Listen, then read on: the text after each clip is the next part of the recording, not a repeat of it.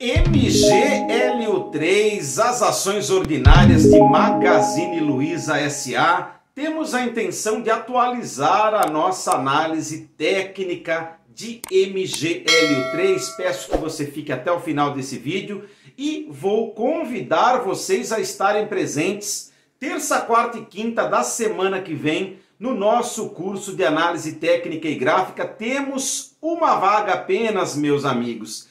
Quem será que vai ficar com a última vaga, hein? Mas não se preocupem porque no mês de março teremos mais duas turmas do curso de análise técnica e gráfica, um curso desenvolvido com linguagem simples, ideal para quem está começando na bolsa de valores e não sabe o que fazer para analisar se vai comprar, vender ou mesmo ficar de fora de uma ação. Entre em contato conosco pelo WhatsApp que está abaixo do seu vídeo, amigos. E vamos falar de MGLU3 que fechou o pregão de ontem numa desvalorização ligeira de 0,4%. E Bov também desvalorizou 0,6%, bastante congruente então com a desvalorização do Ibov. MGLU3 fechou o pregão de ontem a 24,94, enquanto o Ibov fechou em 118.430 pontos vamos direto e reto para a nossa análise técnica, porque afinal de contas acabamos de subir uma análise técnica de Via Varejo SA e aqui a coisa parece que está um pouco melhor do que lá. Confiram no vídeo, meus amigos.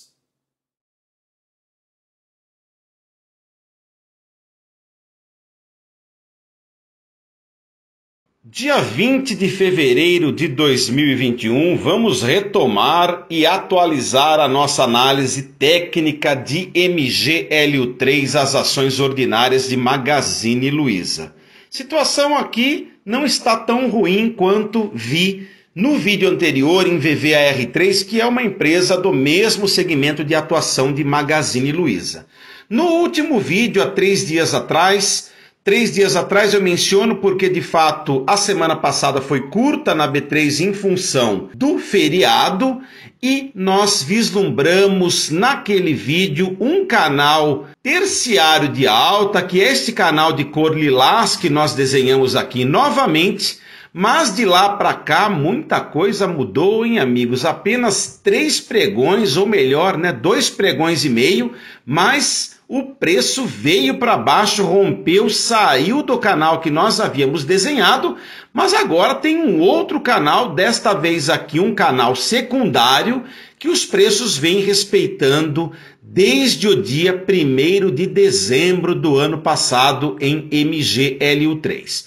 O que continua chamando atenção é o OBV aqui embaixo, OBV bem congruente com a movimentação de preços, apesar do preço ter saído do canal de valorização de cor lilás, ele ainda continua no canal secundário de alta. Então, para os amigos que gostam de investir num swing trade um pouco mais longo, estão posicionados. Percebam que o papel faz topos e fundos ascendentes, tudo tranquilo por enquanto.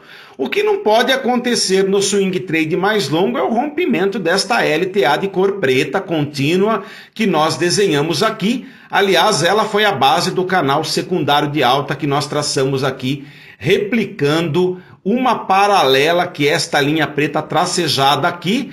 De toda forma, meus amigos, o OBV segue fazendo zigue-zague de alta, então tá tranquilo.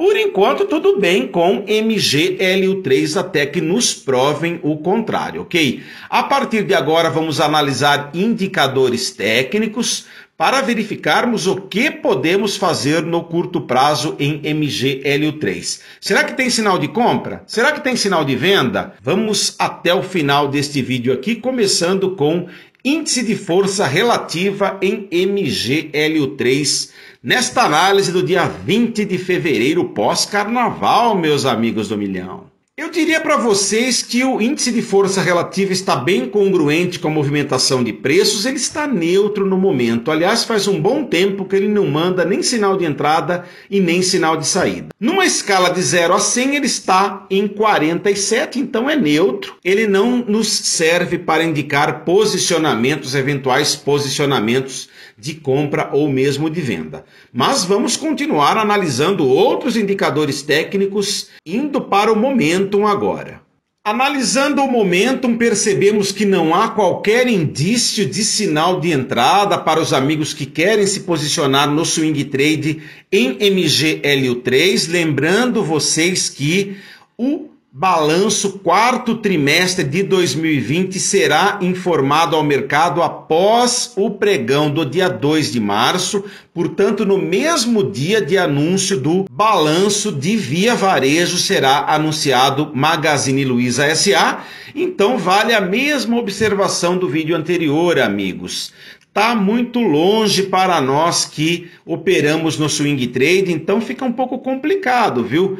Porque nós precisamos de informações, porque os preços se movimentam em função de notícias, né? Notícias relevantes, principalmente, e o balanço está um pouco longe e eu começo a me preocupar porque o momentum veio para baixo, não tem qualquer indício de sinal de nova entrada em MGLU3. Aguardemos então ele voltar aqui cruzar de baixo para cima o limite do zero que é representado por esta linha horizontal de cor vermelha.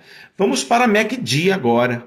Quando analisamos esses indicadores de entrada, nós temos a observação de que gostaríamos de operar no swing trade este canal secundário de alta de topos e fundos ascendentes a favor da tendência principal. Isso seria bastante legal. Mas vejam só que o momento não dá sinal de entrada e também o MACD não nos dá sinal de entrada pelo menos para o início da semana que vem. Tem que continuar monitorando, mas de fato aqui, linha azul cruzou de cima para baixo, linha vermelha. Isso significa que o histograma vem para baixo.